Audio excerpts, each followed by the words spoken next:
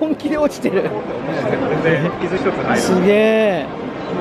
展示会中で200回以上落としてますえー、問題ないんだ、はい。えディスプレイ面を下にしてもらってああいいですよ。こうこんなこういうところだとさすがに割れますけど、これぐらいであれば。割れてます割れてます。で割れ割れてまある程度ここギャップがあるんで、あのそのギャップのところで吸収してもらえてるっていう。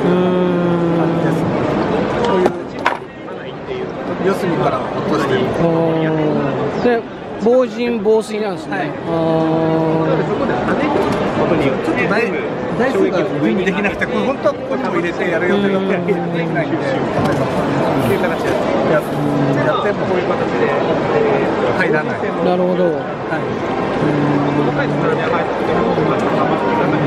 これも発売されてるんですかもうされてる